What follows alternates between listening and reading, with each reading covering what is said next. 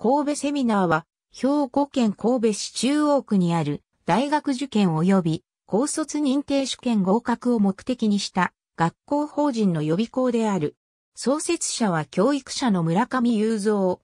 歴史は兵庫県立兵庫高等学校の英語教員であった村上が1970年に始めた私塾である村上塾に遡る。1977年に学校法人となる。村上の死後、教育関係の著書もある、現校長の北鉄人が引き継ぎ、現在に至る。特徴的なのは、生徒は一般の高等学校卒業浪人生だけではなく、高等学校中退生、高卒認定試験受験者、高等学校休学生、現役高等学校生が多く在籍する点である。大学受験を心理学的アプローチから始め、難関大学に合格させる技術的ノウハウにとどまらず、やる気を起こさせるための心理学的手法を取り入れたユニークな指導で知られる。このため、関東、九州など他府県からも例年30名程度が入学している。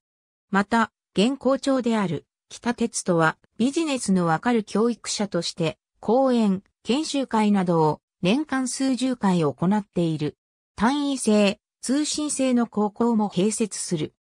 船井総合研究所の岩崎剛校は神戸セミナーの特徴をターゲット設定の明確さにあり、良い方法を正しく伝える教育の仕組みと、生徒に自信を取り戻させると同時に親に対するカウンセリングを行うことで学校側が個別対応できる教育の仕組みが完成されており、経営手法として成功した企業事例と評している。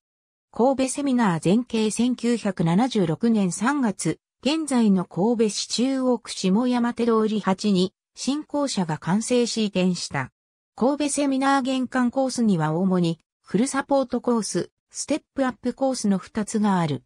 浪人生や高卒認定試験受験者であれば、フルサポートコース、現役高校生や仕事等々の都合があるものは、ステップアップコースを選択することが可能。また、週に数回の個別 MM 指導がある。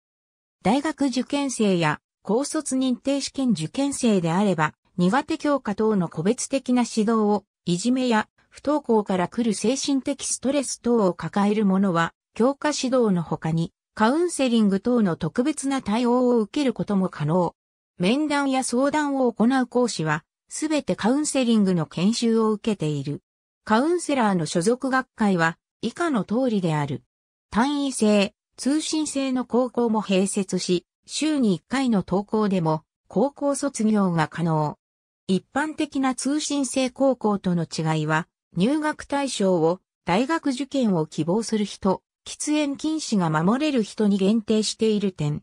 また、親のプレッシャーだけで入学を希望するケースと、厳格限長がある場合は断っている。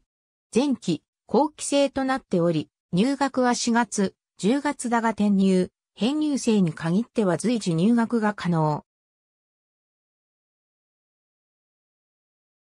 ABCDEFGHIJKLMN OPQR 学校法人神戸セミナー。公式サイトハット ABCDEFG 学校。法人神戸セミナー。公式サイトハット ABCDEF 朝日新聞2008年2月11日。ABC 学校法人神戸セミナー公式サイトハット AB 学校法人神戸セミナー公式サイト校長ブログ北鉄と学校法人神戸セミナー、公式サイトハット AB 学校法人神戸セミナー、公式サイトハット ABCDE 府内、総合研究所、府内メンバー、S プラスブックレット級モデル企業ルポ、学校法人神戸セミナーハットアマゾン公式サイト、あなたの子供はなぜ勉強しないのか？パート2から15歳を過ぎたら、犬家族から猫家族へ学校法人神戸セミナー公式サイト、日本評論者公式サイト、不登校、